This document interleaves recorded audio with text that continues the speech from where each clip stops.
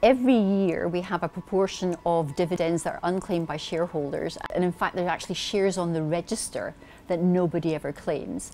And what we do is we look at those unclaimed assets as they're called and if they're not um, claimed or recovered after 12 years then we pass them to the foundation so that they can be used for good causes, charitable um, causes and actually make a difference to the communities within which we work and operate. I think it very much aligns with our ethos as an organisation in terms of being a sustainable organisation but having a very strong focus on community, doing good, being sustainable, making a difference.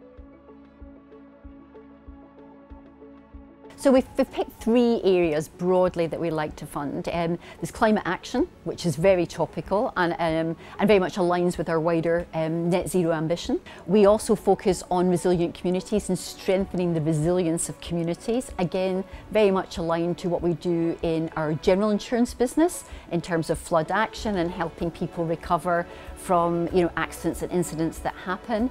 And then lastly, financial inclusion and capability. How do we drive financial inclusion and capability, give people the tools to use financial services to benefit them, and how do we help people, how do we help educate people about what's available there and I think there is a big gap there. So we really want to understand the impact and the outcomes of projects and we measure that very carefully to make sure that actually our money is counting and it is making a difference.